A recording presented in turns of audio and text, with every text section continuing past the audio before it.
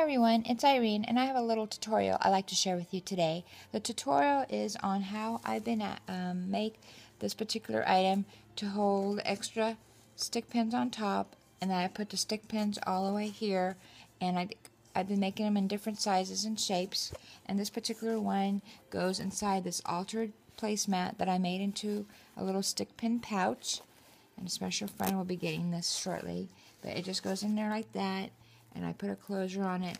And it's just a pretty way to keep on your desk and hold all your stick pins.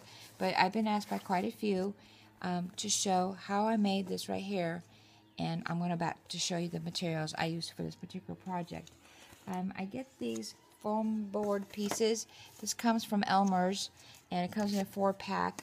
I just like it because it's not big and bulky but you can also get it at um, all kinds of office supply. You can also get it from Dollar Tree, but the Dollar Tree version is very flimsy. I like something that can hold up because you're going to be using it quite a few times, hopefully, and it just withhold withstands all the you know the wear and tear and the bending. So and it holds through shipping very well. But what I do is I cut these into different size shapes. And I usually use a knife that looks like this because it's super sharp. You want something that's going to clean, cut in a clean line because if it's crooked, then the project comes out crooked. And I find it's best to use something really super sharp. So if you have something like that, that'd be great. And then what I do is I get a piece of felt. And after I find what size I'm going to use, I just cut it accordingly.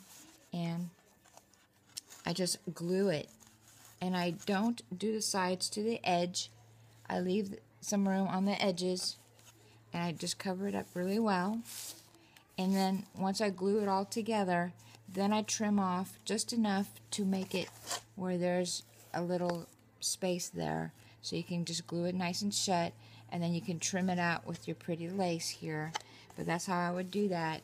And then I continue on. I'm taking another piece of after this is covered I take another piece of felt and the way I make a cover if it was the right size is I make a lip for it and I'll just hot glue this to the bottom like that.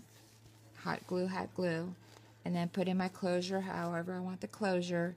And then after it's all hot glued then I put on my lace and cover all my seams and edges and uh, make it super pretty. So this doesn't get a lip cover like this because this particular item is going in here and I just sent off my other little project off but that's how I do that. I use several pieces of felt. I like using pink. I use cream. I use white.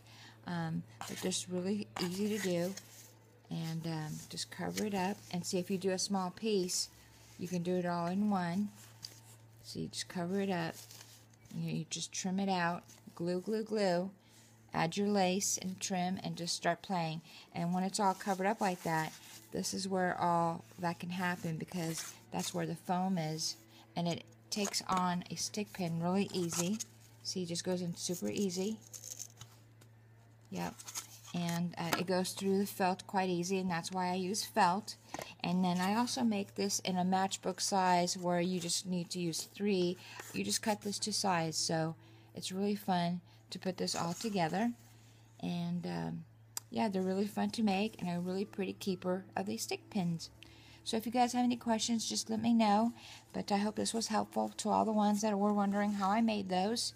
And um, show me what you guys have made. Love to see what you guys come up with. But this was a lot of fun. Thanks for stopping by and viewing this tutorial. Hope everyone's having a great day. Bye-bye.